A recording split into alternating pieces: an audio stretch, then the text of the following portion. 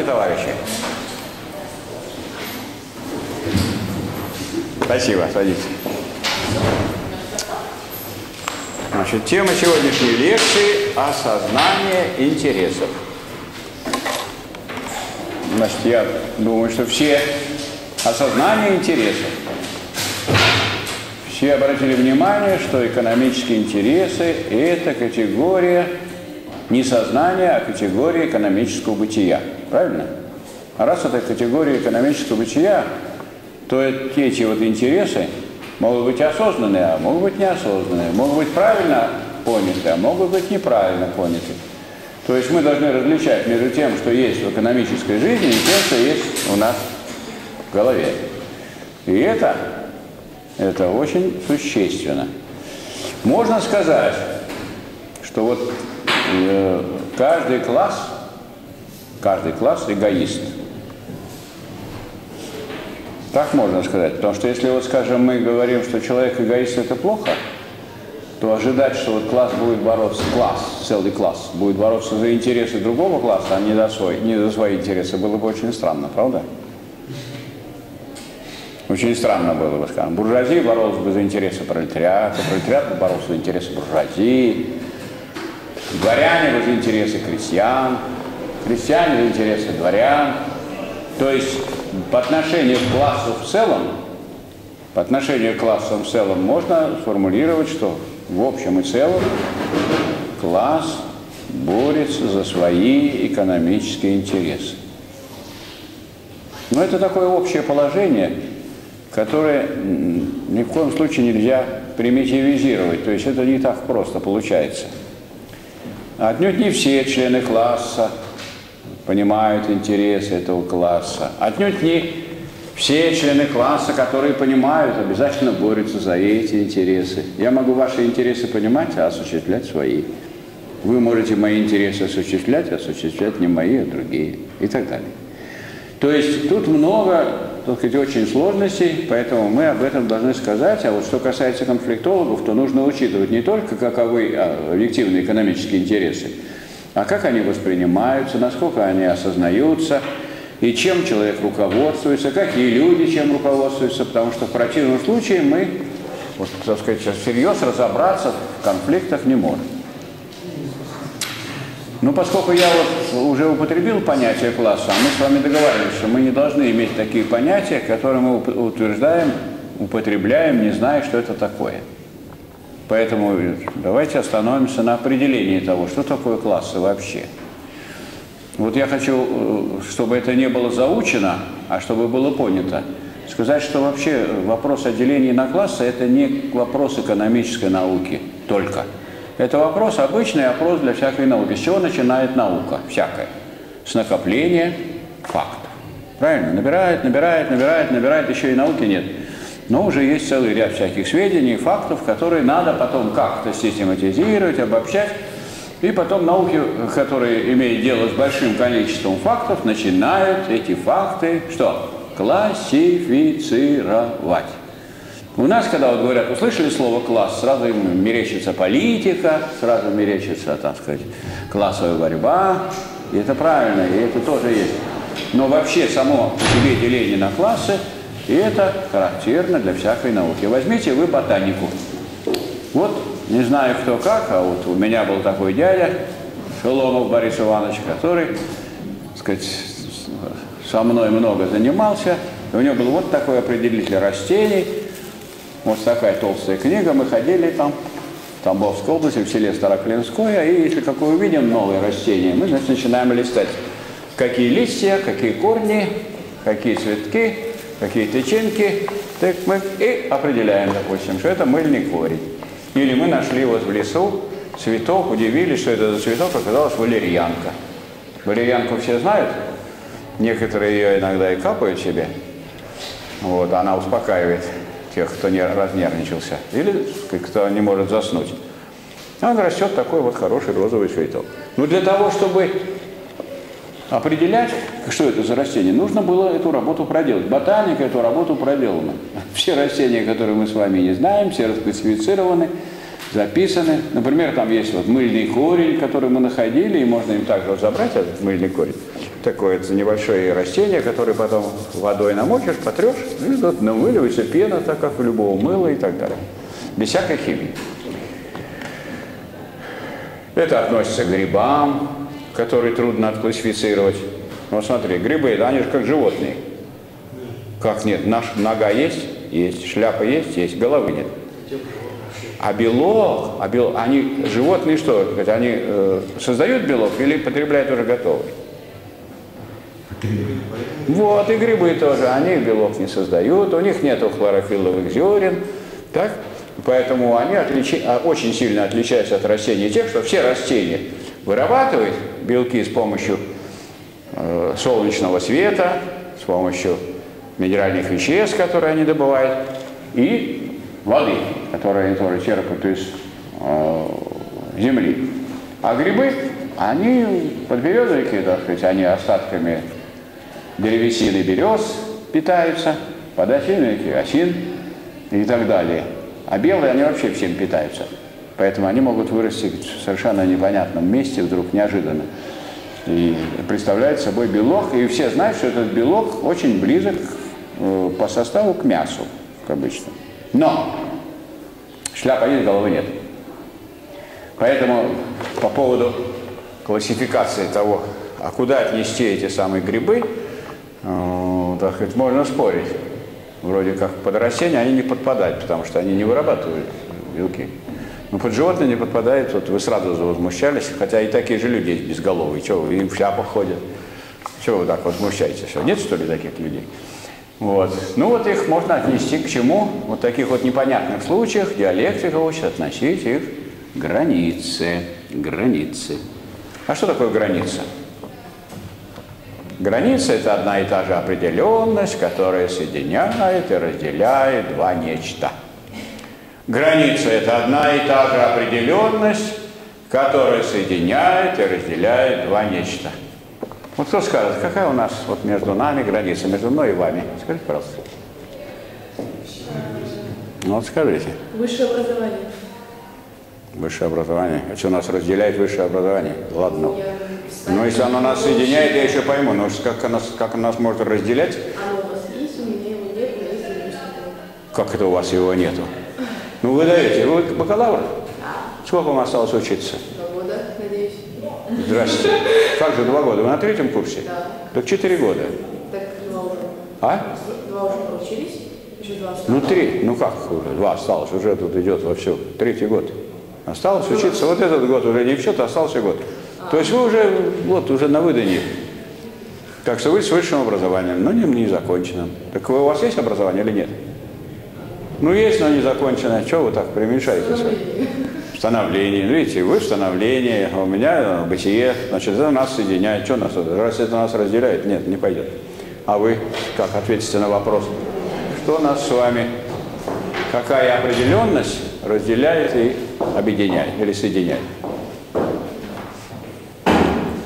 Вот сразу не ответишь на эти вопросы. А вообще ответ, когда я скажу, скажут, чего я до этого не додумался?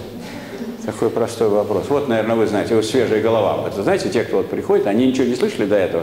Какой тут кто какой дури может маялся, у вас совершенно свежая голова. Вот что нас с вами разделяет и соединяет?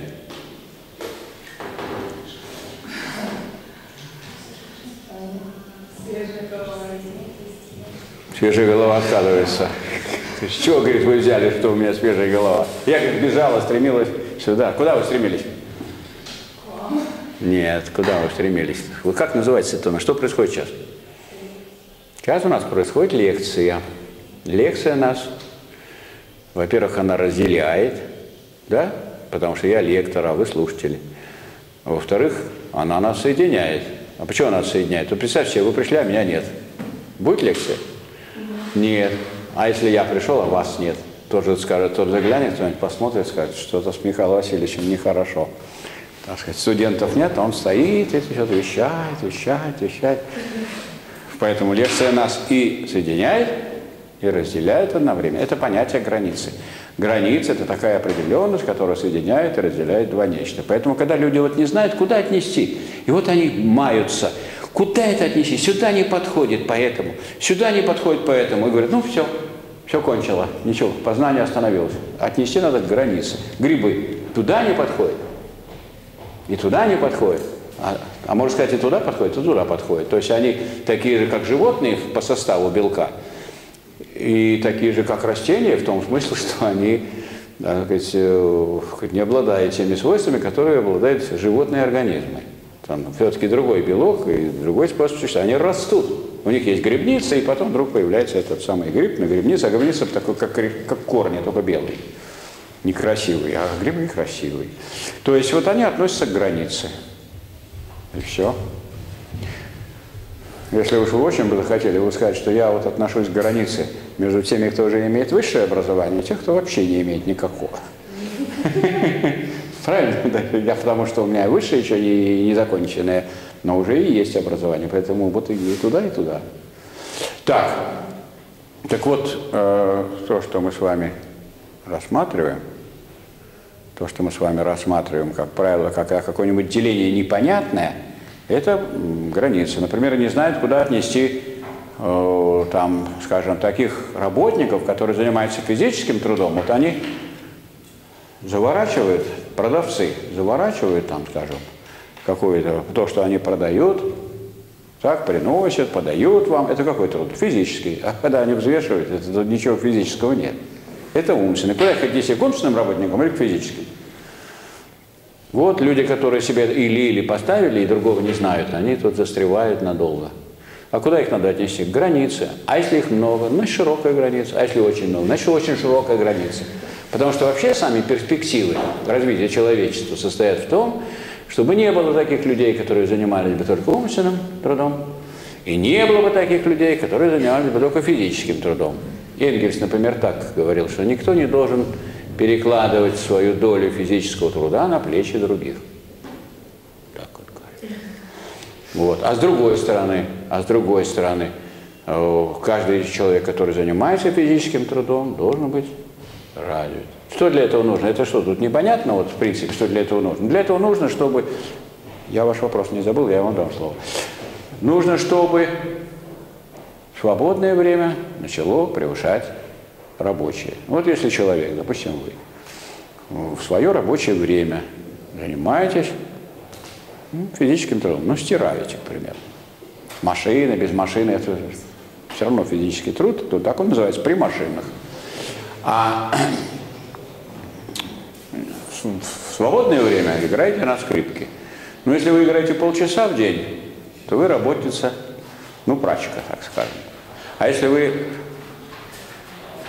4 часа работаете, стираете, а 6 часов играете на скрипке, то вы кто? А? Ну, э, и то, но уже превышение. То есть вы уже скорее скрипачка, скрипачка, которая стирает, а не прачка, которая играет. Видите разницу? То есть вот происходит переворот. То есть мы до этого не дошли. И мы и сейчас не дошли. И при социализме в СССР не дошли. Потому что при социализме было так. Вроде бы хорошая была идея, и Ленин прямо так говорил, надо, чтобы каждый на время становился бюрократом, и чтобы никто не мог стать бюрократом в государстве революции. А потом получалось так, сэкономили, так сказать, труд, повысили производительность труда и сократили число рабочих и крестьян. И все больше людей за столами сидит. И все они недовольны, потому что не так много денег получают, потому что больше, все больше столов, все больше людей. А эти все нагружены, все больше и больше, там 11 человек кормил один производительный работник и так далее. И прогресс, прогресс остановился вот в годы, которые считаются социалистическими, там, брежневские особенно, застой. Не в том застой, что ничего не делали, ну там больше угля, больше хлеб, ну и что, что больше угля и больше хлеба, и что, если я буду толще и шире, что я лучше буду? Почему говорят, большой человек, это что, здоровый, что ли, нам много съел? Или большой человек имеется в виду великий? Великий это же большой, великий. Но он велик чем?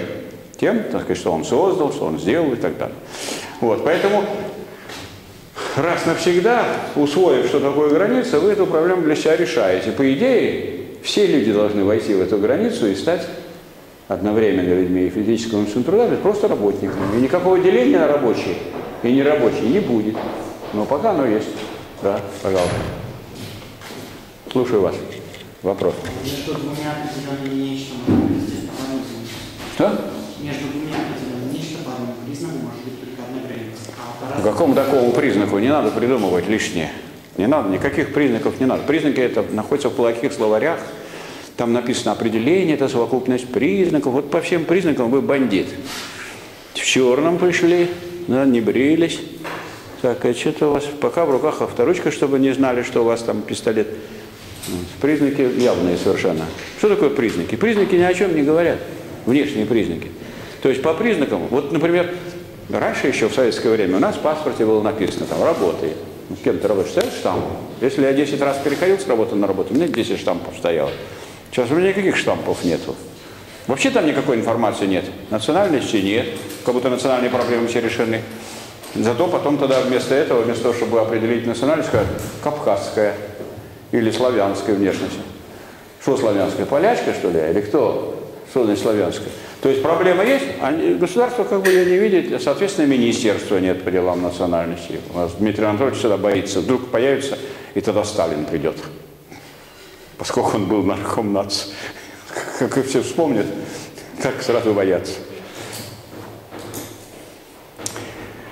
Вот. Так вот, э, поэтому, когда речь идет об определенности, вот и вы возьмете науку логики, если почитаете, вы узнаете, когда а, определенность неотделима от наличного бытия. Неотделимая от наличного бытия определенность есть качество, не признак, а качество. Вот качество у вас хороший человек. А какие там признаки? Да не интересуют меня признаки. Был, был бы человек хороший, а признаки? Может и признаков нет, а человек хороший. Так, это совсем другой разговор. Так, так вот, во всех науках происходит классификация. Я зачем сказал об этой границе? Потому что, например, есть такие виды животных, которые, э, так сказать, не знаешь, куда отнести. Утконос. Клюв, клюв у него, как у птиц. А вообще-то это, конечно, животные. Да? Вот. Или там кенгуру с сумкой, но в магазин не идет. А там у нее детеныш в сумке сидит. Очень удобно и хорошо. Вот сейчас ходят, и мамочки некоторые такие приделывают себе рюкзачки для детей. Но по сравнению с этой с кенгуру, конечно, проигрывает. Кенгуру это все как-то более органично. Какой это признак? Какой это признак? То есть признак другой, а она животное. Вот. Человек животное или нет? Вы животное? Ну, Слава, хорошо признал. А то я некоторых спрашиваю студентов, говорят, вы животное или растение? Вы говорите, животное? Нет. Я говорю, ну, значит, вы растение, потому что выбор-то не богат. Трава или бревно? Ну, слава богу. Вот тут сразу вот человек сказал, что он животное. А какое животное? Понятно. А какое вы животное? Вот, видишь, он общественный, все знает. Не поймаешь его. Общественный. Может, и разумный еще? Понятно. То есть я думаю, что это мы не будем продолжать эту тему, что во всех науках классифицируют. Ну и исключением является и такая, ну, скажем, э, в ботанике классы есть растений, то же самое в биологии, ну и то же самое относится и к общественным дисциплинам, к общественным наукам. Если мы хотим изучать поведение, действия, противоречия, борьбу сейчас 7 миллиардов человек, 7 миллиардов, если мы будем поштучно изучать, но это мы обречены здесь на полную неудачу. И вообще-то никакая не наука, когда, потому что наука изучает что? Она изучает всеобщее. А она вовсе не изучает. Индивидуальное так, всегда отличается в той или иной мере от всеобщего. Есть особенное, есть единичное. Единичное включает в себя всеобщее. Вот вы человек, потом вы конкретный человек, вы студентка, но вы не вообще студентка, у вас есть конкретное имя, фамилия. Поэтому есть и общее, и особенное, и единичное. А если сказать, мы только берем все только единичное, это никакой науки просто не может быть. Поэтому классификация. Значит, по каким признакам классифицировать э, действия людей? Э, людей? По, значит, можно сказать, есть брюнетки, есть блондинки. Это один принцип классификации, да? Или там брюнеты, блонди... и брюнетки в одну, а этих самых шатенов и шатенок в другую группу зачисляем, а блондинок в третью, и блондинов. Это один способ, такой странный довольно. И что дальше? А ничего. А потом начинаются анекдоты, понимаешь. Только вы что понравились блондинки, потом начинают про них анекдоты, что они, дескать, якобы глупые. Хотя, э, может, и анекдоты, которые сочиняют еще глупее. Дальше, значит, есть такой принцип. Вот что люди, депутатов как определяют? Вот потому, что они сказали. Когда? Когда их выбирают. Что вам сказать? Что вам пообещать? Вам что нужно пообещать? Что вам нужно? Что нужно? Автомат будет автомат какой? Газированной воды или такой, который стреляет? Обычной воды. Хорошо, будет, мама, хорошо. Когда изберете меня? А когда изберете, вы уже меня не снимете. Вы же знаете, у нас нет никакого отзыва, отзыва отозвать нет, нет никакого форума вообще отзыва. Поэтому депутатов избирают по обещаниям, по словам. Вот. И даже есть такой анекдот, что провели социологическое обследование, кто за кого будет голосовать, и вот примерно 20% послала депутатов к, еще 20 вы, а еще 20 на, остальные не определились. Вот так. Так вот, депутатов по словам делят. Мы будем классифицировать по словам, мы обращаемся к таким серьезным источникам. Вот такой серьезный источник – Библия. По делам их узнаете, хотя вначале было слово, а потом там что написано? По делам их узнаете их.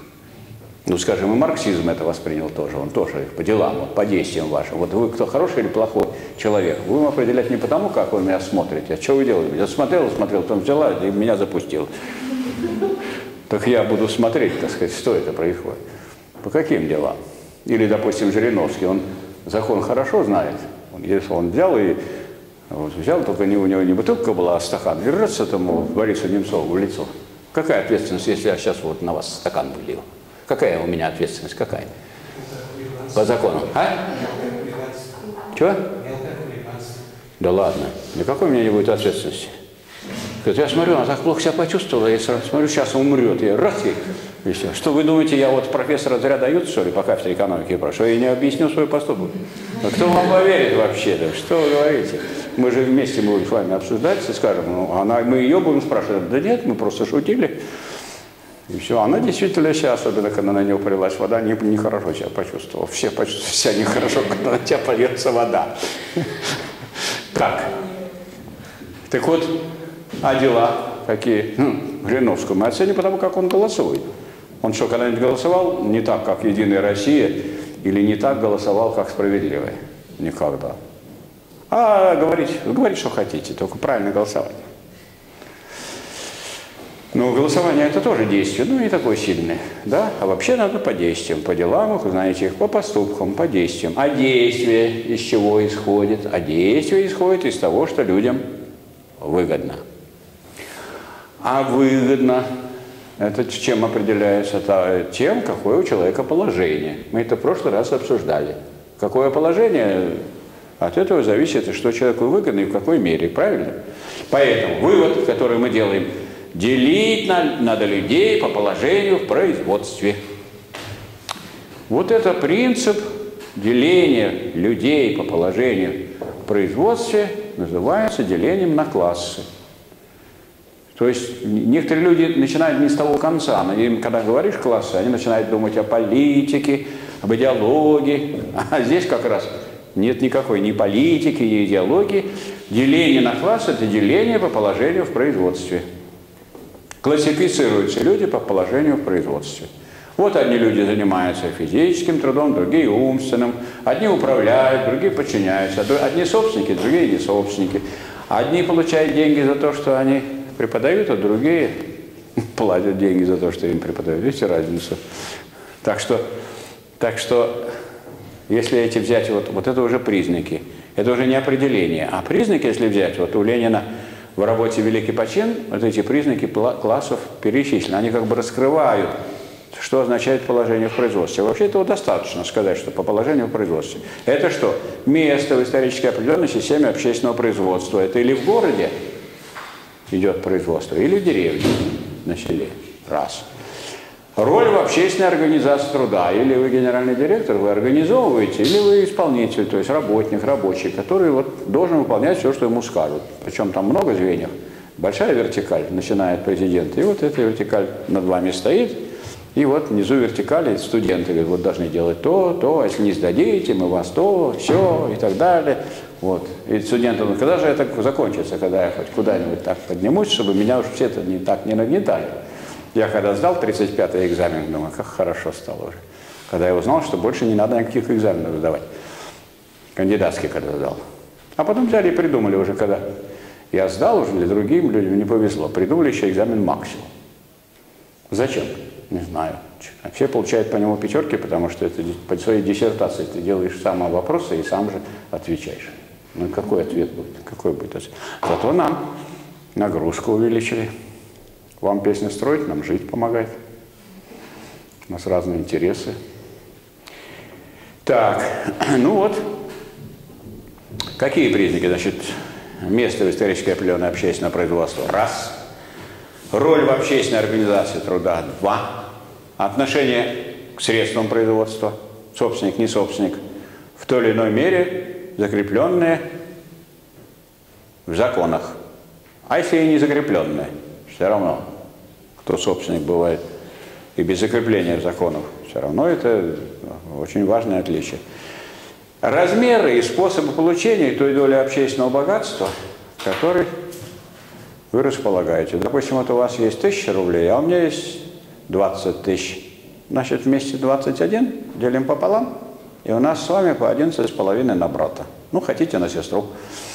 совсем даже и неплохо, правда? Среднее, если взять. Но это в среднем, а, размеры, вот размер. А способ получения, если я ваш мастер, а вы работница, то вы получаете зарплату, а я получаю премию за экономию зарплаты. Чьей? Вашей. Чем я вашу больше сэкономил, я больше получу. Видите разницу? То есть на самом нижнем вот уровне, в нижнем звене уже могут быть на этой почве конфликты. Или, например, взять статистику. Вот, скажем, известно, что ректор политехнического университета получает в год 11 миллионов рублей. В то же время там происходит сокращение очень важных специалистов по существу сокращения. Дескать, нет на вас зарплаты, конкурс не объявляем, идите куда гуляйте, куда хотите. А сколько доцентов можно держать, скажем, на сумму, ну, скажем, ну, пусть по 50 тысяч получает он в месяц. Вот я как профессор получаю 40, а он как ректор, пусть получает 50. Да? Ну, ну пусть 60 получает, 60. 60 на 12, это сколько будет? Ну, 720. Еще сколько остается тысяч? Еще от миллиона остается сколько тысяч? А еще 10 миллионов. Еще 10 миллионов. Еще можно таких содержать. 10 человек. А если они будут по 30 тысяч получать, то не 10, а 20 человек можно содержать. А ну, объясняешь, что денег нет, все, деньги кончили. Кончили, денег нет, все я забрал. как бюрократы, знаете, чем они отличаются? Говорит, вот он держится обеими руками за кресло и говорит, я вам ничем не могу помочь, посмотрите, видите, руки у меня заняты. А карьеристы, они тоже не могут помочь, потому что они одной рукой держатся за одно кресло, а второй уже, да, более высокое. Вы ко мне пришли, ну вы видите, я же вам не могу помочь. Видите, я занят. Все вы хотите. Вот и все. Вот люди все ходят и ходят и ходят. И это уже, так сказать, уже в народном творчестве отразилось, как вот в таможенникам приходит один и все. Это вот надо товар растаможить. Он говорит, надо ждать. Тут ждет. День ходит, второй, третий, неделю. Каждый раз приходит, он говорит, надо ждать. Думает, что делать-то? До субботы дожил, думает, думал, думал, а, надо ждать. Приходит понедельник, отсчитал, во вторник радостный приходит, ну как, растаможили? Нет. Почему? Мало ждали. Ну, еще ждет, ждет. Вторник, среда, четверг, пятница. Все приходит, мало ждали, мало ждали, мало ждали. А, в субботу думал, думал, так мало ждали. Дал больше. Приходит, уже третья неделя идет. Так растаможили? Нет. Почему? Надо доложить начальству. Ну, пошел за тем, что надо доложить начальству. Вы знаете, что такие явления есть в нашем обществе? В том числе даже вот сам начальник контрольного управления президента оказался взяточником. Так что вот приходится сказать, об этом думать и говорить. И мы не можем делать вид, что этого нет у явления. Есть. Есть. Так вот, э, это различие. И это вот мы развертываем понятие класса. Теперь сворачиваем обратно и говорим, что классы – это люди, которые отличаются по положению в производстве. Вот и все. Просто и понятно. И легко запомнить, правда? Ну а что такое положение в производстве? Вот тогда вы можете перечислять. А зачем эту всю батарею сразу держать в голове? Для этого и существуют категории, такие узелки, которые нужно держать в голове, а не надо там вот все вот в таком. Это вы чемодан носили в раскрытом виде когда-нибудь? Неудобно. Лучше закрыть на замке и понести. А вот так, так будет все высыпаться, надо будет собирать. В общем, это утомить. Так. Ну вот теперь давайте поставим себе такой вопрос. А люди, которые вот в реальной жизни действуют, они всегда понимают, что им выгодно? А? Нет. А вот что чаще? Чаще они понимают, что им выгодно, или чаще, что они не понимают, что им выгодно? А? Чаще не понимают. Вот что по этому поводу говорит наука? Наука говорит, что общественное бытие определяет общественное сознание. Материализм, примененный к истории, это говорит. Общественное бытие определяет общественное сознание. Какое у нас сейчас общественное бытие? Ну, вот было общественное бытие феодальное, да? Дворянское. Был правящий класс феодальный. Ну и какое сознание было у крестьян? Крестьянское или феодальное? Феодальное, конечно. То есть вот мой батюшка, царь, барин, отец. А чем не отец? Вот, например, если сейчас, скажем, нынешнему предпринимателю, капиталисту все равно, вы заболели умерли. Ну, умерли, так другие же придут. Другие же придут сейчас, же свобода. Вы умерли, вот он придет, он умер, она придет. Она не придет уже. Ну, из Таджикистана приедут, из Таджикистана они придут, из Узбекистана придут. Нет проблем. Поэтому иногда вот, если они не оформлены, их так за ворота так выкладывают, и на этом все. И такие ситуации есть. Ну, чтобы не быть голословным, мы не думали, что это вот просто байки. Хочу вам сказать, что крупнейшая забастовка была несколько лет назад в Москве в такой организации, которая называется «Донстрой». Я сначала думал, при чем тут Дон? Как там туда? Вот и что, оттуда из Дона приехали люди, у нас там строить? Нет, это дома особого назначения, особо шикарные, большие дома такие. И вот на этом, в этом Донстрое работало 30 тысяч человек. Из них тысяча москвичей. Вот эти тысячи москвичей квалифицированных, это работники, которые, а, привозили их гастарбайтеров с работы и на работу, 29 тысяч, из общежития и обратно. Утром на работу, вечером с работы. И которые работали на башенных кранах, на бульдозерах, на бетономешалках, на всем, на всей технике, которая там есть. Которые там есть. На автомобилях. И вот ну, основная масса работников, гастарбайтеров была не оформлено по трудовым договорам. То есть они фактически работали, деньги им, ну сколько платили, скажите спасибо, что вообще что-то платили. То есть никакого порядка не было. И это, конечно, приводило, ну к чему? К, ухудшению положения и москвичей, тех же самых, которые работали. Потому что если рядом работают люди, которые совсем мало получают, то что вы требуете? Вот люди вообще почти ничего не получают, а вы тут выступаете. Нечего выступать. Посмотрите, как люди живут. Почему вы на меня смотрите? Я один, а их много. И много, и все живут так плохо. А вы должны с народом жить. Тем более уже с высшее образование уже имеете, хоть не законченное. Ближе надо быть к народу. Нечего требовать высокой стипендии. Некоторые вообще ничего не получают. И так далее. Так же здесь объясняют. И вот эти тысячи человек забастовали, и это превратилось в забастовку 30 тысяч человек, потому что никого не привозят, никого не возят. Тогда туда пришли уже депутаты, депутат Шейн там был, Тюлькин там был, еще другие депутаты. Вызвали прокуратуру. Прокуратуру с удовольствием, так сказать, на это.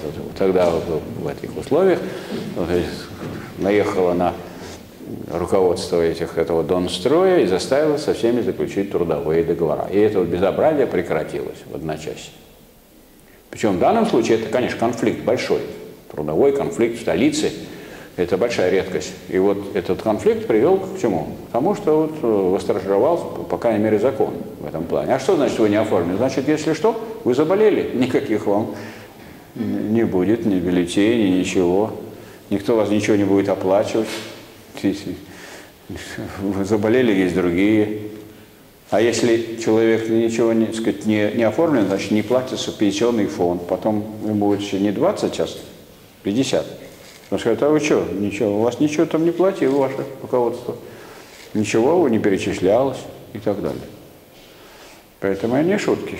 Рабочие ЗИЛы некоторые уходят на пенсию, начинают, приходит пенсионный фонд, говорит, а ваш говорит, ЗИЛ ничего не платил. Но он не случайно ничего не платил, то что ЗИЛ убивали и убили. Нету сейчас ЗИЛа, все. Прекратили это производство. Которое 200 тысяч давало вообще славу нашего автомобильного производства. Так. То есть мы обнаруживаем, что, так сказать, люди в своей практической жизни, как правило, руководствуются той, теми взглядами, которые есть у того класса, который держит в руках экономическое, так сказать, господство, экономически наиболее могущественного класса. Эко... Общественное бытие определяет общественное сознание. Поэтому, скажем, у большинства рабочих сейчас в любой буржуазной стране какое сознание? Пролетарское или буржуазное? Буржуазное. Буржуазное. Поэтому, если кто-то думает, что вот если он рабочий, то у него в голове пролетарские идеи, это все неверно. Точно так же, как не совсем верно, если это буржуа, то у него обязательно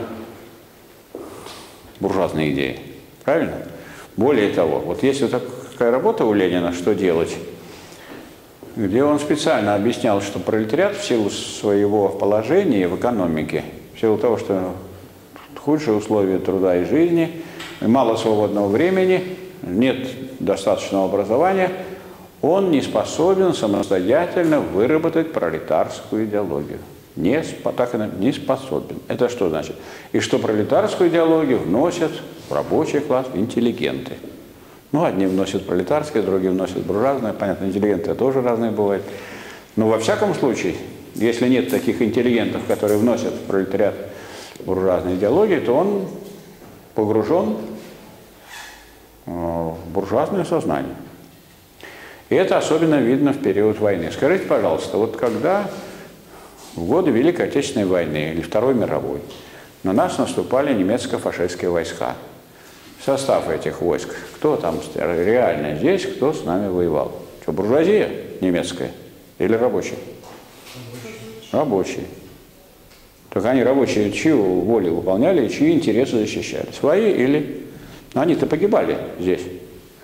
Или Круп стрелял из пушек Круп. Шмидт летал на самолете, на одном. Не так было? Не так.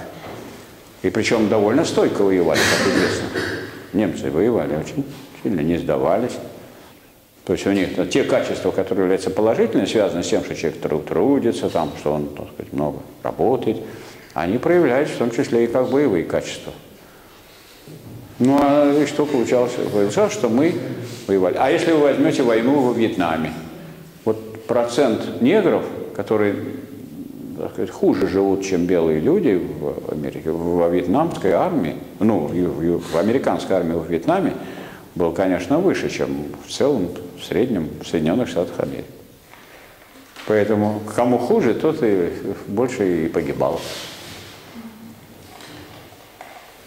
Это долгий был процесс, который развивался в Соединенных Штатах Америки, выступление против войны, пока этот процесс не набрал такую силу, что пришлось им оттуда убраться. И получилось, что Соединенные Штаты Америки, начав эту вот большую войну, закончили тем, что вот начинали они, что половина Вьетнама была американской или проамериканской, а закончили тем, что есть Южный Вьетнам, перешел тоже в Социалистическую Республику Вьетнам. И вот теперь Социалистическая Республика Вьетнам в следующем году, как предполагается, в 15 должна войти в таможенный союз. Интересный такой факт. Вот это надо нам запомнить, потому что когда люди думают, что рабочий, он обязательно у него пролетарская идеология, а вот буржуа или буржуазный интеллигент по положению у него обязательно буржуазная идеология, это неправильно. Например, привожу исторический пример. Карл Маркс. Кто по положению? Кто? Буржуа. А? Буржуа. Ну как он буржуа? Что, у него завод есть? А что он сказал? То есть он только вам сказал, нам не говорил. А вам сказал, что у него есть завод. Или кто-то, родственники сказали, как, откуда вы узнали, что у него есть завод или фабрика? Кого он эксплуатировал? Есть рабочий, он нанимал. Нет? Ну, если он не нанимал рабочих, значит, он Так не... он не работал уже на заводе? Ну, так значит, он не буржуа. Ну, буржуа-то он... Что такое буржуа? Буржуа – это собственник средств производства. Вот, ну, грубо говоря, так. Вот вы стали совсем свободны от всего. А у меня завод. То есть средства производства. Вы гуляете, сейчас хорошая погода. Потом приходите и говорит, Михаил Владимирович, а нельзя ли у вас поработать? Я говорю, да пожалуйста, и только вот, знаете, у меня с деньгами плохо, надо острова покупать, там, дворцы. Поэтому уж не в защите много-то не, не смогу заплатить. Нет, говорит, мне это не подходит. Ну, не подходит, люди свободные. У нас же свобода сейчас. Идите. В чем от всего свобода? Вот я-то не свободный. У меня, понимаете, завод, фабрика охранять надо, чтобы не разбазарили, потом смазывать надо, потом какую-то технику надо все время ремонтировать. А вы абсолютно свободны. Вы погуляли еще 2-3 дня, приходите ко мне. Говорит, да ладно, Михаил Ильич, ты черт с ним, давайте, какая у вас там зарплата. Пожалуйста, и начали работать. И вы, и вы, и вы, и вы. Вот тогда я уже кто? Вот тогда я капиталист. А пока я тут с вами разговор разговариваю, какой я капиталист? Ну, вот если вы скажете, что я буржуазный профессор, ну, это будет соответствовать вот моему положению. Почему? Во-первых, у нас университет в буржуазном обществе, он государственный. Государство – это орган господствующего класса, в данном случае буржуазии. Кто мне дал звание профессора по кафедре экономики и права? Вот докторскую я получал еще в советское время, там можно спорить, так сказать, непонятно что. А я профессора получил в 1995 году. Поэтому вот вы что-нибудь напишите, я скажу, я делаю заключение, что вы не правы. И подпишу профессор по кафедре экономики и права, который я получил как директор института, где я работал, говорил, Михаил Васильевич, не отдавай ему корочки, потому что тебя признала буржуазная наука, а его советская. Меня признала буржуазная наука. Какое у меня положение? Буржуазного профессора. Но это одно дело положение, другое дело, что, так сказать, у человека в голове это вопросы могут отличаться очень сильно. Так вот, Маркс по положению был буржуазный интеллигент. Ну, по своему, так сказать, предназначению и по роду деятельности он был кто? Идеолог. Идеолог мирового пролетариата. Так? Так. И Энгельс. Вот Энгельс кто был? Буржуа. Вот. И то не сразу. Он сначала, у него папа был буржуа, он был сыночек буржуа. А папа был, а он в конторе работал у папы. Потом, поскольку он не бедный, он поехал на три года в Англию писать положение рабочего класса в Англии. Как у него денежки на это были. У вас есть денежки, чтобы в Англию три года пробить и написать, как там люди живут? Нету? А вот у Энгельса папа дал, и он поехал. Потом приехал, написал, Маркс прочитал, вдохновился и решил тоже заняться политэкономией, потому что Энгельс занимался раньше этим делом. Но когда папа умер у Энгельса, он стал буржуа. Но Энгельс по своей идеологии... Какие, чьи интересы защищал? Какого класса? Энгельс. Да ладно. Ну, коммунистический манифест вместе написал. Причем первый написал, и Энгельс написал принципы коммунизма. Потом они сели с Марксом, они же не так писали, вот мы сейчас с вами взяли двумя руками, вы и я, и начали писать, как Маркс, нет, держите, как Маркс и Энгельс. Так. Не так они написали. Энгельс написал первый вариант, потом Маркс редактировал, потом Энгельс, и они так сделали коммунистический манифест. Кто написал коммунистический? Маркс и Энгельс. Один буржуазный интеллигент, другой буржуа в дальнейшем. И так сказать, последовательными, наиболее последовательными и четкими выразители интересов рабочего класса были. Потому что интересы рабочего класса, как выразить, нужно изучить положение рабочего класса, ответить на вопрос, что ему выгодно. Это вопрос научный. Я могу с вами быть не согласен, но ваше положение я изучил, и, так сказать, вам выгодно вот это. Вот я даже самостоятельно додумался, что вам выгодно иметь прочные знания. хорошие. Еще и добавок и оформить их в виде диплома. Чтобы потом не говорили, что знания у вас есть, конечно, но вы ничего не закончили. Нет, закончила вот, и показала. Так что это вам тоже выгодно. И я это знаю, хотя я не студент сейчас. Я был, но я мог уже и забыть. Я же ваши интересы выясняю. Может, сейчас уже не модно быть этим грамотным или знающим. Откуда я знаю? Но я выясняю, что выгодно. И выясняется, вот я получил такой вывод, что выгодно вам иметь прочные знания хорошие. Так.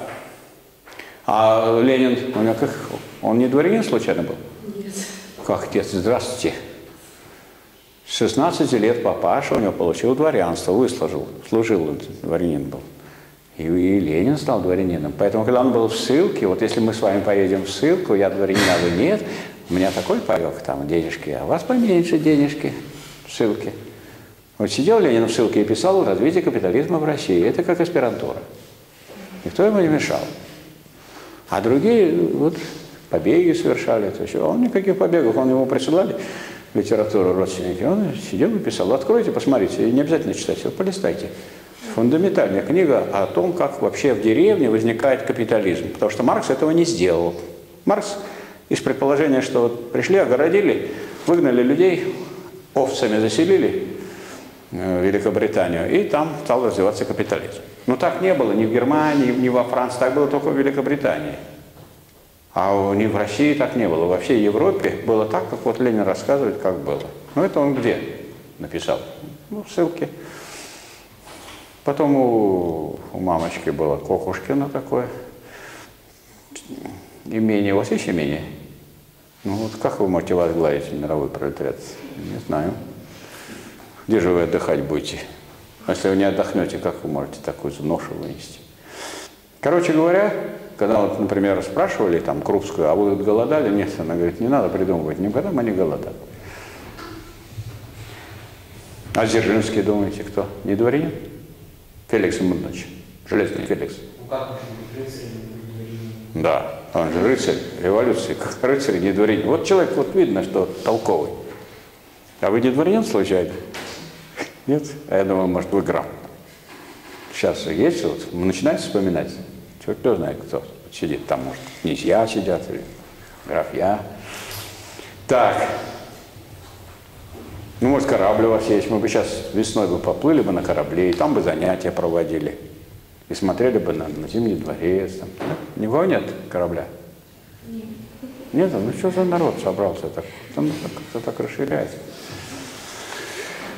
Ну ладно, нет и нет корабля. Будем вот по двору ходить. Никто нам не запрещает ходить. Я могу рассказывать и на улице также. И вы можете прекрасно слушать. Почему это сидят? Вот я не знаю, что нам дали эта аудитория. Далась нам эта аудитория. Пойдем и будем гулять. Требуйте весной, чтобы нам поставили там занятия. Я уже согласен. Скажите, мы с преподавателем договорились. Тем более мы тут, вот, тут бьются за аудиторию. Он скажет, да нам мы, мы как-нибудь перебьемся там. Ну в целях мы не для себя, мы заботимся о них. Об их интересах. Так. То есть, ну, Калантай, даму такую, знаете, нет? Она, правда, так сказать, что-то не спорил Ленин много. Потом ее отправили послом, как всегда, в результате спора. Но она дворянка, известная деятельница. Вот, так что э, буквально выводить, например, это примерно из того, что я вот ваши взгляды изводу, из, вывожу из того, как вы одеты и что вы ели. Ну, это правильно будет? Из бытия можно вывести взгляды человека? Нет. А чем определяются вот ваши взгляды? Как вы его сказали? Вот как вы его сказали? Вам не хочется такое вот сказать, что мои взгляды определяются вот чем? Ну чем? Не хочется. А вам хочется сказать? Хочется, но не может. Ну попробуйте. Взгляд определяется жизненным опытом человека и его восприятием окружающего мира. Да. И его что? Восприятие. Восприятием. Не окружающим миром, а его восприятием окружающим миром. То есть я восприяю, что... Люди живут так же, как и многие другие ой, дворяне, в принципе. Да. Но воспринимал по-другому, что То есть все-таки вы стоите на том, что ваши взгляды определяются именно вами, а не тем, кто, а не окружающим миром. Я бы не сказал, что исключительно, но влияние все же есть. Есть. Но все-таки что является определяющим? Ну вот, у Маркса в тезисах о Фейербахе написано, что человек есть продукт обстоятельств и воспитания. Понятно, что обстоятельства, конечно, предполагает восприятие. Еще бы не хватает, вообще ничего не воспринимаете. Что, кто из вас вообще воспитает? Что? Тот человек, который ничего не воспринимает, все это дело кончено. Человек из продукта обстоятельств воспитания. Это очень глубокая мысль такая. Какие обстоятельства? Любые.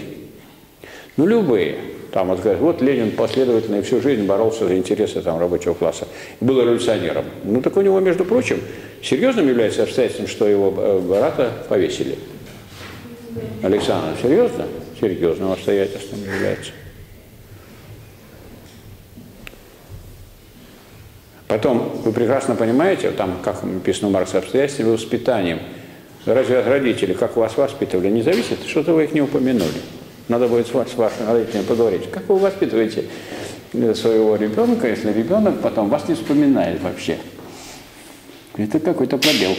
Это пробел у ребенка или пробел у родителей воспитания ребенка? У нас вот, видите, запись ведется, это все публично будет. Так что смотрите. Все, решил, я, мое восприятие, я все. Особенно, когда мама его кормила, кормила грудью. Он потом решил, что он, что его все восприятие. Так что человек из продукта обстоятельств воспитания. Иногда э, какой-нибудь человек, который даже и родителями не является, да, повлиял, которого вы встретили в жизни, он на вас оказал, может быть, решающее влияние. То есть ваш индивидуальный путь в жизни, и каждый человек, вот здесь сидящий, имеет уже свою индивидуальную историю. Вот некоторые очень боятся, причем довольно глупые люди, боятся, что будут клонировать. Вот представьте себе, что мы все клонированные. Все клонированы, все, все на одно лицо. Лучше не на мое, лучше на ваше. Или на ваше.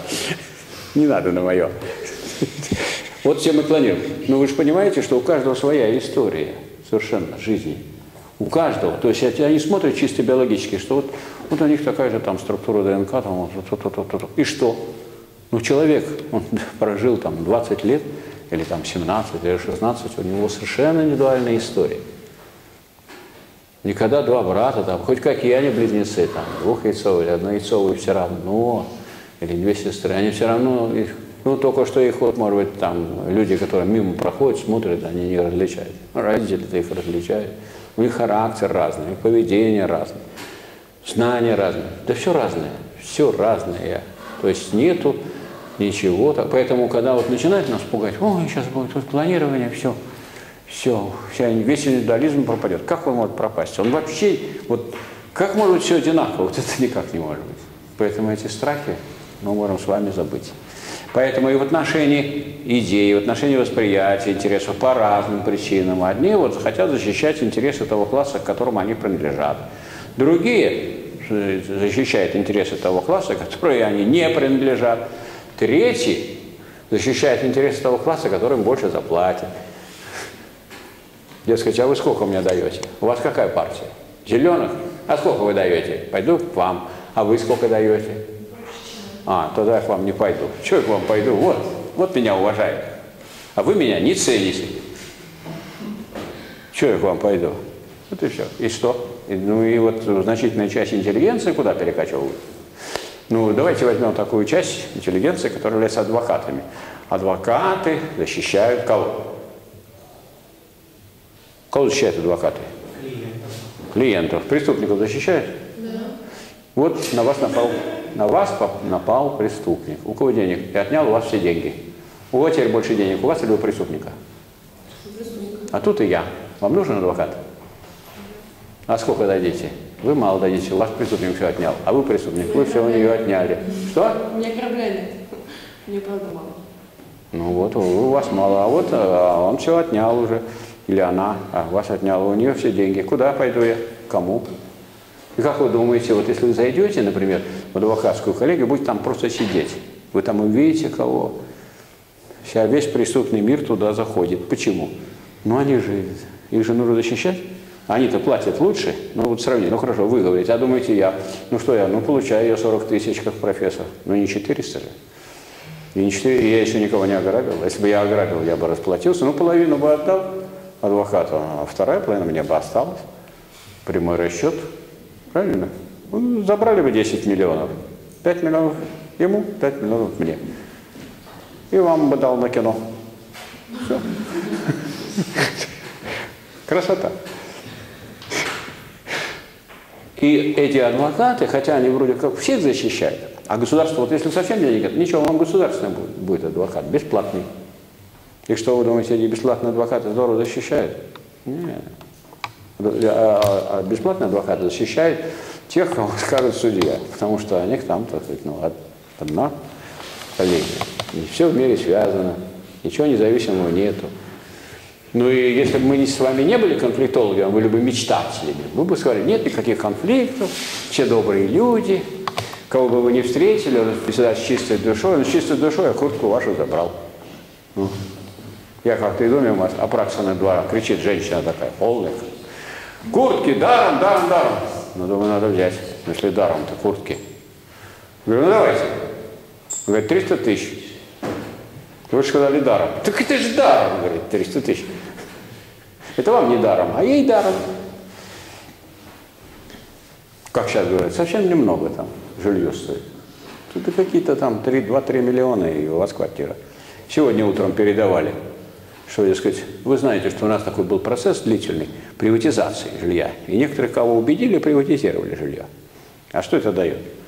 Это дает, например, если вы почитаете жилищный кодекс, это дает право государству, если оно дорогу вот проводит через ваш дом приватизированный, то вам выплатят компенсацию, деньги по рыночной стоимости вашей вот квартиры. А скажите, просто, какая рыночная стоимость той квартиры, через которую проходит дорога? И люди становятся бомжом.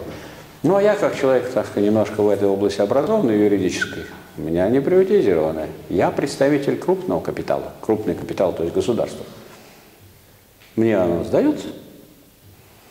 А поэтому, если через мой будут дом проводить дорогу, мне 32 квадратных метра обязаны дать. По, по жилищному кодексу. Кто мне не верит, я вот вас очень рекомендую. Вы проверяйте, что я говорю, потому что надо проверять. Если что-нибудь найдете, что я не то скажу, вы мне скажите. Я и ошибиться же могу. А? Вопрос, где Где, где? Пойдите спросите я, у тех, о ком я только что говорил, которые потом оплачивают услуги адвоката. Где, где? Еще хотите, чтобы я вам это говорил? Нет, это, прово, это провокация. Я вам такого не говорил. Работайте, учитесь и будете, выучитесь, будете получать, когда станете профессором, 40 тысяч. Так, хорошо. Значит, это очень важное положение. Очень э, важно нам понимать, что люди все продукты обстоятельств воспитания, и то, что верно по отношению к целому классу или слою, вот интеллигенция отдельный слой, ее не называют классом только по одной простой причине, что она по одному признаку там, не проходит, не отличается от рабочих. Например, а, у нее нет средств производства. Поэтому она почти как вот рабочий класс. По всем другим отличается. И место в исторически определенной системе общественного производства другое. Вот если я буду ваш руководитель, я буду говорить, что делать, вы будете делать. Так, и роль в общественной организации труда. Правильно?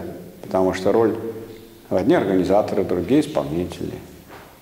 И размеры и способ получения доли общественного богатства разные. Но вот средств производства нет у интеллигенции. Поэтому она, так сказать, примыкает к рабочему классу, но рабочим классом, конечно, не является. Значит, поскольку деньги платит кто?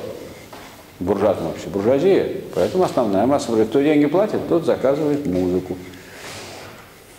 Поэтому основная масса этих музыкантов, то есть интеллигентов, она реализовывает и пропагандирует интересы Сейчас вот носились с прошедшими выборами с вопросом о том, что вот там нарушили нарушили какие-то положения, каких-то старушек привезли на автобусе, и они проголосовали и избрали тогда Полтавченко.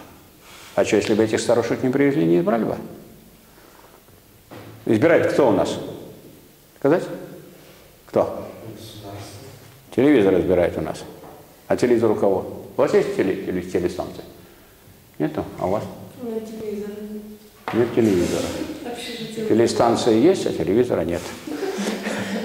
А зачем вам телевизор? У вас телестанция. А у вас радио, да? Есть. Сейчас вместо телевизора То есть- существуют блоги. Существует, существует. Не беспокойтесь, чтобы если держать блок, деньги надо платить тоже. Совсем? Ну вот тот блок, за который деньги не надо платить, большого влияния не имеет. Да. Даже если вы просто сайт будете держать, вам говорит, придется регулярно за сайт платить. Вот за сайт фонда рабочей академии, на котором вывешиваются наши материалы, мы платим деньги. А как вы думаете? Это обязательно? Так. Но это туда выйдут, не выйдут, а телевидение, вот вы жарите картошку, а вам по радио говорят, за кого голосовать. А вы суп готовите, а вам объясняет телевизор, за кого голосовать. Но раз его нет, вот вы, так сказать, выпали из этого влияния. У вас другая идеология. А мы не можем сейчас голосовать. А? В Санкт-Петербурге мы не можем голосовать за местные власти, за местную власть, потому что мы здесь временно зарегистрированы. Ну, хорошо, раз вы временно, так и сделано, чтобы вы временно регистрировали. Власть же определила, кто может, кто не может. Раз вы временно зарегистрировали, то и не голосуйте. Вы и не нужны. Важно право дать всем, кто по закону может голосовать. А вы, вам не дано законом. А закон принимали демократически, голосовали. Какие претензии? Нет. Вы же за демократию. Ну, Демократически решено вам не давать. И все. Вот что такое демократия изначально. Вы все должны, чтобы так понимать демократию, что такое суть ее, дух. Демократия первоначально где появилась?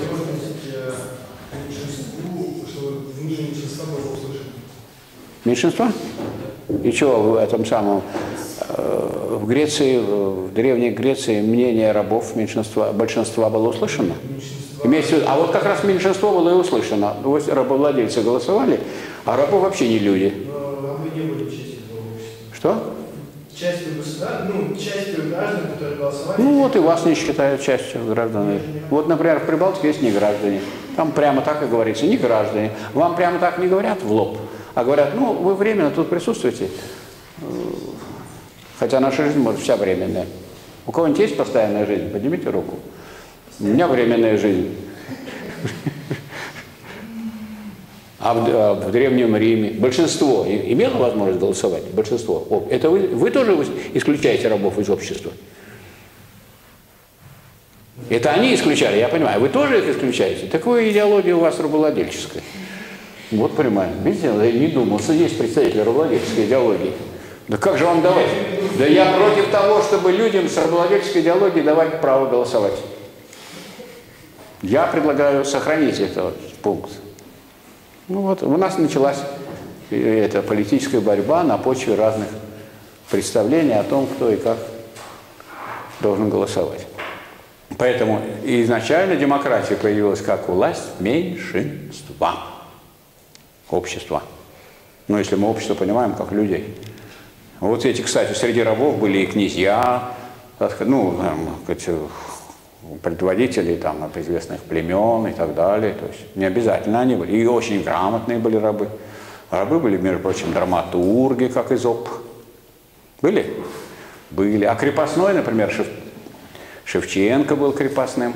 А какой имел э, возможность чего-то там? Там вообще там никто не голосовал. Самые э, честные, вот сейчас говорят, надо, чтобы честные были выборы, честные. А самые честные – это строй, это феодализм. Если вот вы барин, то вы имеете право голосовать. А мы крестьяне.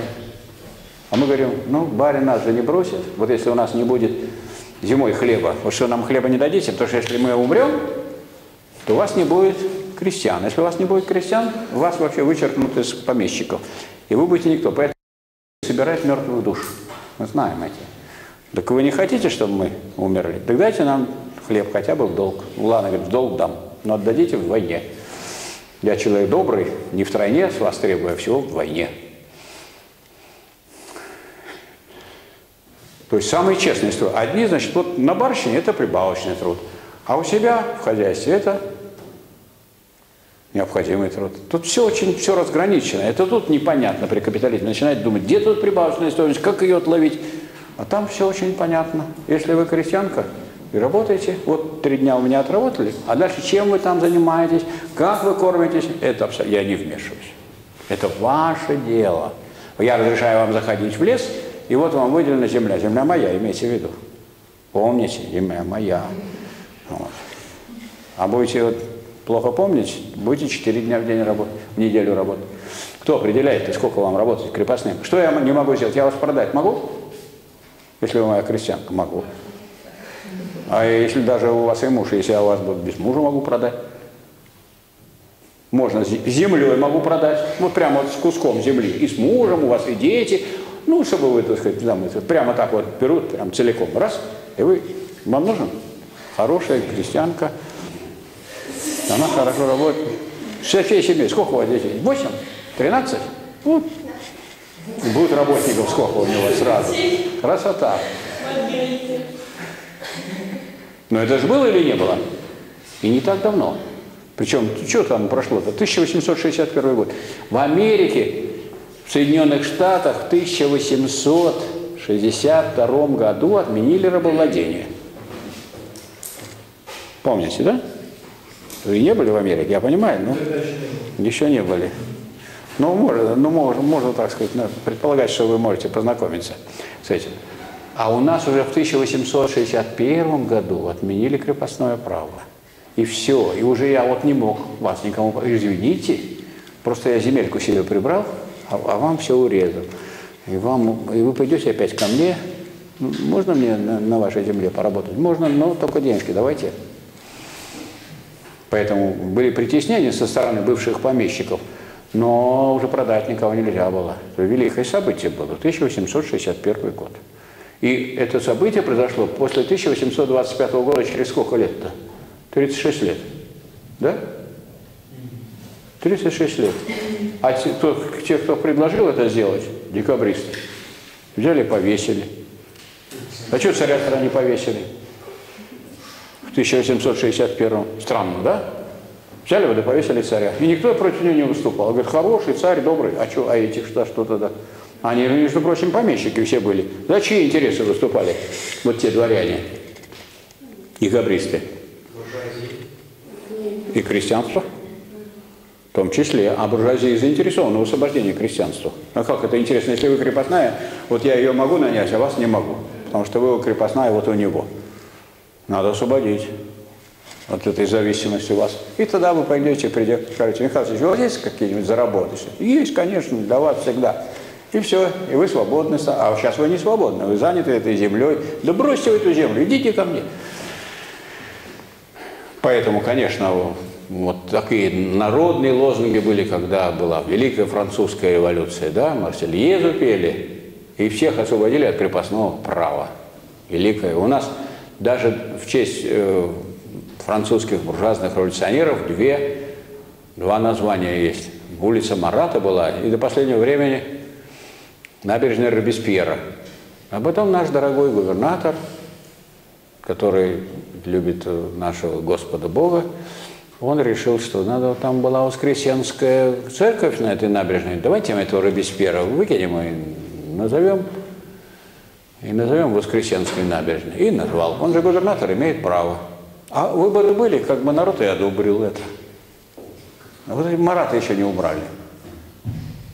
Я думал, по, по темноте своей думал, власть буржуазная, значит, буржуазных революционеров как уважать надо, нет? А то, значит, Салтыкова Щедрина убрали, слишком много правительства критиковал. То у него город Глупов, то еще другие какие-то. Поэтому, как называется это Салтыкова Щедрина теперь? Кирочная. Так, какие еще там есть нехорошие люди? О, вот, Герцен что-то в колокол там бил, там поднимал народ против крепостного права. Как называется? Улица теперь, бывшая Герцена. Арка главного штаба туда прям не упирается. Не знаете, да? Вот это и сделано, чтобы вы не знали. Это большая морская. К морю идет. Видели там море? Нет? Вот там море что-то не больно просматривается. Ну, да. Но туда куда-то она идет. Так, еще кто у нас есть? Великий русский писатель Гоголь. Ну, это вообще безобразие. Но Гоголь же не Гегель. Надо переименовать.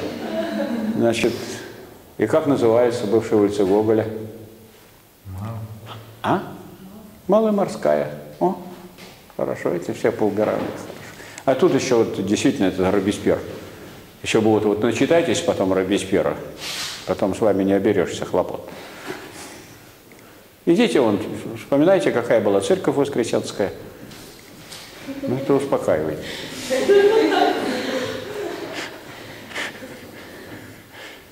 Не удивляйся, чем люди занимаются. А вы в крестном ходе не участвуете еще? Ну, как у нас теперь крестные ходы большие есть.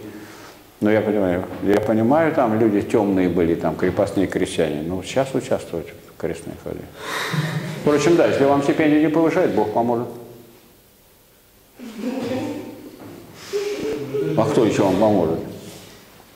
Вы говорите, телевизор не попросить, значит, надо мало молились. Молитесь больше. И раз, и вам вдруг там пробьет потолок, и свалится телевизор. Не надо. Не надо? Ну ладно. Тогда не просите.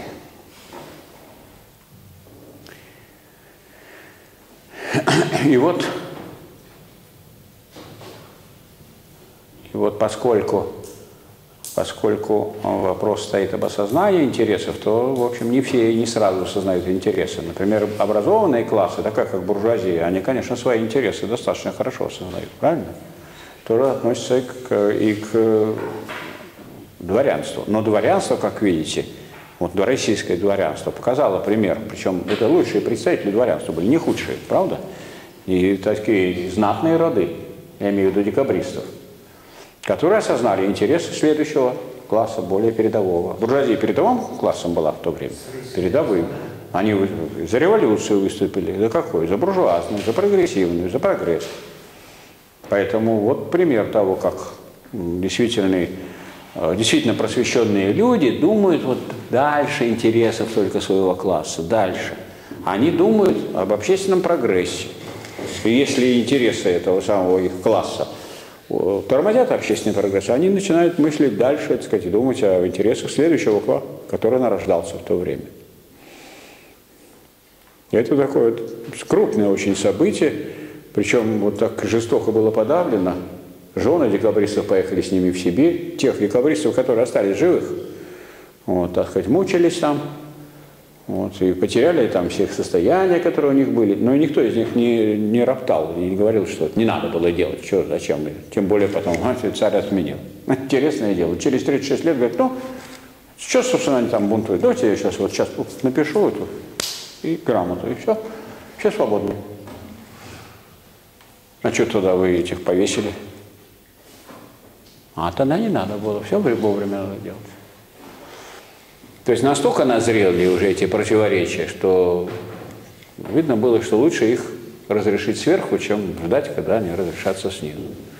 И все равно, поскольку так здорово выпустили крестьян, что у них все отрезали, то все эти проблемы, как вот пороховая бочка осталась в России, они рванули в 17 году, потому что землю крестьянам не дали, а отрезали. И поэтому, а кто дал, затем мы пошли. Кто дал землю? Большевики. Ну, за большевиков и пошли. Кто воевал, вот теперь мы с точки зрения интересов рассматриваем гражданскую войну. В Красной Армии большинство кто составлял? Да ладно, рабочие.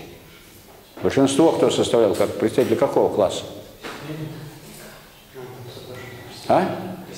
Крестьяне, конечно. А крестьяне это какой класс-то? Крестьяне это сословие было, а класс какой? Да ладно, пролетариат.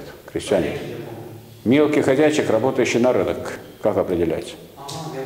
Мелкий буржуа. Значит, в Красной армии основную массу составляли мелкие буржуа. Так, можно сказать? Правильно будет сказать. Ну и рабочие там были, большинство. То есть, ну, меньшую часть рабочих составляли, конечно, в Красной армии, большинство, конечно, мелких буржуа. Теперь берем белую армию или белую гвардию. В белой армии, конечно, были представители дворянства, буржуазии, но они все равно меньшинство там составляли, а основную массу – мелкие буржуа. И вот там мелкий буржуа, тут мелкий буржуа. Идет Деникин на Москву, отнимает землю, вешает крестьян. И как себя ведет эта основная масса? Ну, те, которые в Деникинской армии начинают не очень сильно воевать. А те, которые в большевистской армии, в Красной армии, они начинают более решительно воевать. И погнали этого Деникина, и на этом закончилась гражданская война. Поэтому с точки зрения, там, дескать, им помогали 14 государств, Антанта, давали вооружение, а эти, значит, разутые, раздетые. А почему тогда пошли на сторону большевиков самые крупные военачальники? Ну уж, наверное, уж мы не скажем, что у военачальников, царских генералов в голове был, была пролетарская идеология, правда? Во-первых, большевики им платили, как, как раньше платили, потому что большевики сказали, что вот для нас, для всех, для большевиков будет парт максимум, для буржуазных спецов будет, сколько получали, столько и будет. Ну, говорит, надо, мы должны, Ленин говорит, надо зайти от принципа Парижской коммуны. И э, царские, так сказать, военачальники, наиболее крупные, были Красной армии. Это во-первых. Во-вторых, во-вторых, конечно, там ядро составлял самый передовой рабочий класс, наиболее революционный, он такой сказать, костяк составлял и к нему примыкало крестьянство. Но крестьянство-то понимало, что землю дают большевики. Причем большевики не свою программу осуществляли, поскольку они немножко разбирались в теории интересов и конфликтов. Они, у них своя программа как называлась, большевистская, можете посмотреть, это вот исторический период, отрезки. Надо эти отрезки вернуть крестьянам. То, что отрезали у них, вот, помещики, то, что они чем пользовались там, выпасом, э, значит, землей, пашней, надо вернуть им назад. А вообще в перспективе сделать коллективное хозяйство. А крестьяне требовали разделить по едокам. Вот все, что у нас есть, по едокам. Сейчас я не спрашиваю, сколько у меня, сколько у вас. Вот все, что есть, берем и делим. По едокам. Ну, большевики, конечно, говорили, но это все кончится тем, что снова будут сельские буржуа, то есть кулаки, снова будут бедняки, и снова будут мелкие буржуа, середняки. Но в 17 году раз, и землю все, как просили крестьяне. И крестьяне говорят, конечно, большевики нам не нравятся. Или нравились они прям так уж большевики. Прям полюбило крестьянство большевиков. Крестьянство, крестьянство видело, что так сказать, большевики продразверстку делают, так сказать, хлеб отнимают ну, во время войны. Но это же не дело, хотя большевики тоже сделали уступку, перешли к НЭПу в 20 году. И свели продналог, а не так, что вот я у вас пришел, у вас увидел там лишние мешки и забрал. Потому что вас много, а у нас тут народ голодает в городе, в Санкт-Петербурге. А вы говорите, да я вот сделал это, я, да вы работали, понятно, ну эти же погибнут люди, а вы и так проживете, у вас еще есть мешки. Поделили пополам, половину увезли. И не спрашивали. С винтовками приходили, то есть какие-то люди мало кому нравились. Поэтому там считать, что вот прям полюбили большевиков, крестьяне, ну уж я думаю, совершенно будет через край. Но крестьянин так и говорил, что мы этих, не, нам не нравятся большевики, но эти нам совсем не нравятся, которые землю отнимают и вешают крестьян. Они уже распахали землю, засеяли. Пришел Деникин, стал вешать. Ну все тогда. Они развернулись и разгромили эту белую армию. Вот, ну, это потому что вот интересы, это, то есть интересы здесь сработали. Их осознали крестьяне. Осознать крестьянину, что он заинтересован иметь землю, очень легко.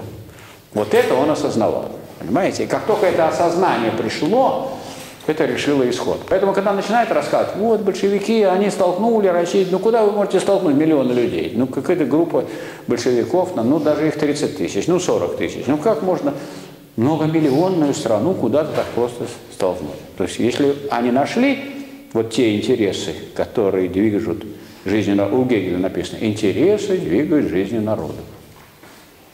Но надо, чтобы они были осознанные. Вот вы осознаете свои коренные интересы, и будете, вот вы осознаете, что вам надо самые глубокие и прочные знания, и будете их добывать. Осознали? Вот. А не осознаете, ну, то есть вроде как и кончите, бумажку-то всем дадут. Но за бумажкой, так сказать, какая, какой багаж.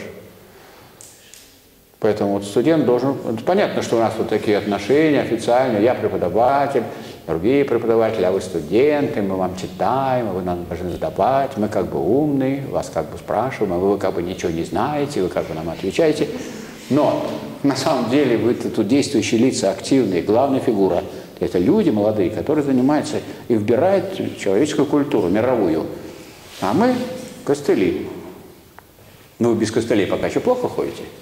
Знаете, когда в госпитале? Пока надо Ну, задача какая, что вы потом пошли без костылей, так?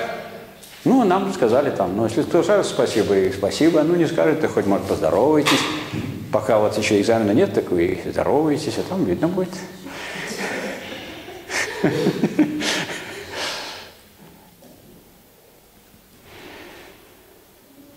Так что э, вот смысл сегодняшней лекции у нас в том, чтобы мы, в отличие от того, что мы имеем в литературе, никогда не примитивно не излагали вопрос о том, что это у меня вот такие интересы, то я вот такая идеология имею. Нет, это разные вещи.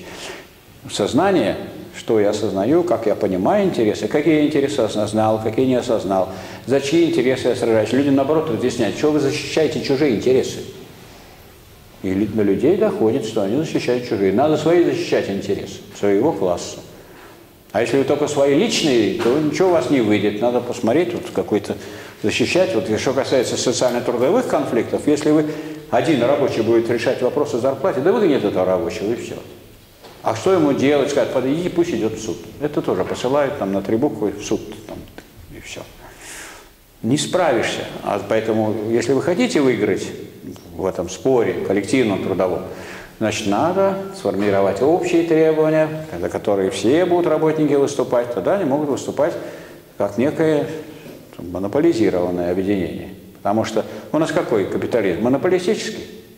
Монополистический. Вы с монополистическими, с монополистами поодиночке хотите бороться? Да это смешно.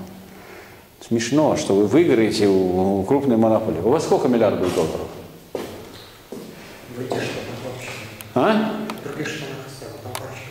Ну а что вы не принесли-то хоть бы? Каждый раз приносите хоть понемножку. Ну хоть бы поровну поделили там, ну какой-то кусочек-то. Принесите в следующий раз. Ну, смотрите, ничего не держит дома, только сейчас скрылось. Мы же вас не осуждаем, мы же не спрашиваем, откуда у вас деньги, но делиться надо. А то не делится, знаете, их судьба очень тяжелая. Вы, наверное, знаете, читаете газеты?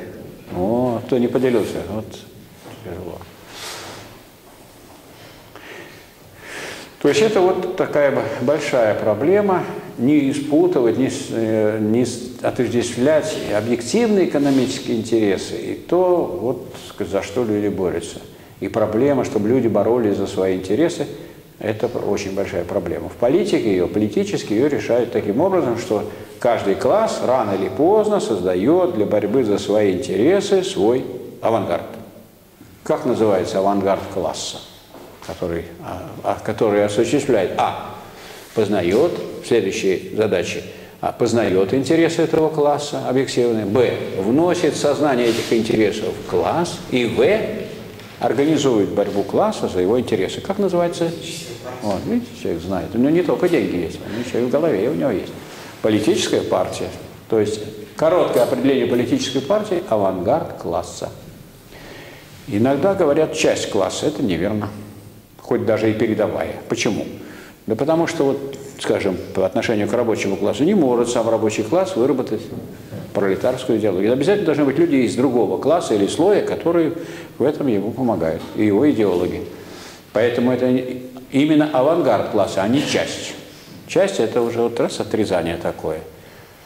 Возьмем буржуазию, авангард буржуазии, будет партия буржуазии. Нет, и у буржуазии тоже кто? Сидят те же самые идеологи, какие-то профессора, которые помогают выработать, сформулировать программу, устав, так выступают с пропагандой и так далее. И в этом смысле, скажем, вот интеллигенция, она разделяется. Одни служат одному классу, другие другому классу, третьи, так сказать, кто кому больше денег даст. Сегодня у одних взять, завтра у других взять. Ни от кого не надо отказываться и бегать и там собирать. Всякие есть. В этом смысле положение интеллигента одного сродни с положением мелкого буржуа. Только этот продает мелкий буржуа пирожки, пожарил и продает. Купите пирожок. А я говорю, у меня знания есть, купите мои знания. Не хотите, мы продаем услуги образования. Раньше мы учили вас, а теперь мы продаем услуги образования. Почем? Пять курсов. Нет, четыре теперь продаем. А потом давайте еще нам магистратуру, а не деньги несите. Поэтому по, э, сказать, по примыканию к очень часто представители интеллигенции примыкают вот к мелкой буржуазии и ведут себя по мелкобуржуазным. Они и трудящиеся, они устают, они замучены, и в то же время они думают, как бы выйти в люди и стать настоящими хозяевами. Как бы меньше работать, больше получать. Я думаю, и вам это не чуждо. Меньше работать, больше получать, правда? Ну, Тут я вам помочь не могу, потому что жареные рябчики у нас, к сожалению, не выскакивают из, из э, уст э, профессоров. Тут вам надо что-то искать другое. Вопрос есть ко мне? Нет, это говорит о том, что я плохо излагал или наоборот понятно излагал? Понятно. Ну спасибо. А то я думал, что может зря я говорил. Ну слава Богу. Я уже расстроился. Пожалуйста.